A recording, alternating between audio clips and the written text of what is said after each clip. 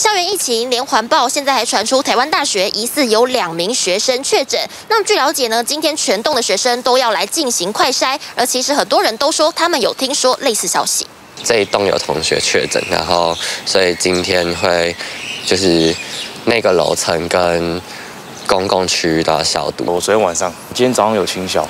传出两名确诊学生疑似都住在宿舍，询问学生，不少人坦言，十三号晚间就接获学校发出讯息，校方通知信上也表明，一名住宿学生确诊，下午已经离开宿舍。不过，疑似确诊两人是同班还是同宿舍？目前台大回应还在了解状况调查中。全面的消毒，然后也有去呃要求里面的社包去进行筛检。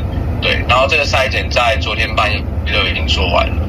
而为了防疫，台大也开出高教第一枪，八十人以上课程要是不能维持社交距离，就得改为远距教学。还有停课标准，则是改为三分之一以上课程停实体课十天，全校就要改成远距上课。课程改成线上，其实品质不是很好，所以有学生主张，我们还是应该要把这个选择权，就是让大家来自己评估。